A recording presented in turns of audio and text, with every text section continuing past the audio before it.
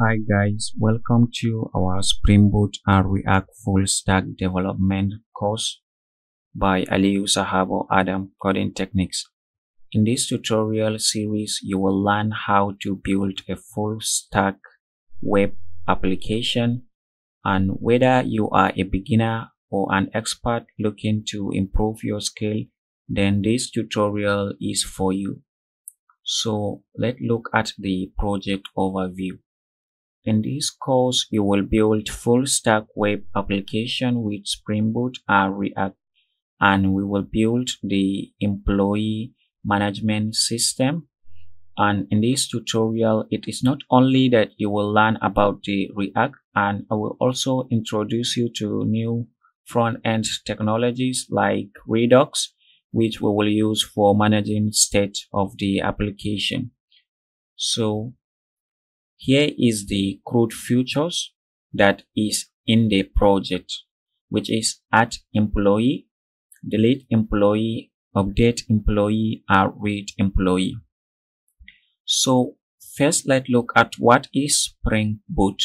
Spring Boot is a powerful and popular framework for building Java applications. It facilitates the development process by providing a set of standards and defaults which allow developers to quickly create production-ready application. So this is Spring Boot and let's look at the React.js.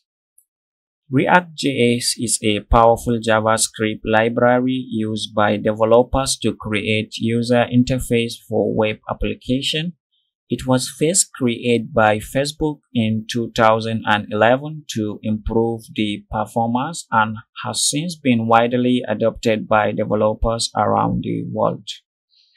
So what you will learn in this project.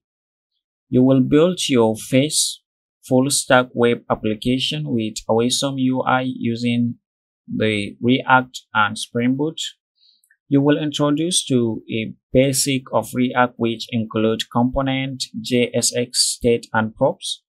You will learn how to effectively use React Router with functional component. You will learn how to connect your React frontend and Spring Boot backend.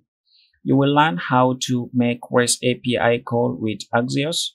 You will introduce to basic of Redux, which include reducers, action, and store. You will learn how to configure MySQL with Spring Boot. You will also learn how to develop Spring Web MVC application with Spring Boot. Okay, so this is what we have in this part one of this series. See you in the next video, which we will look at the architecture of the application.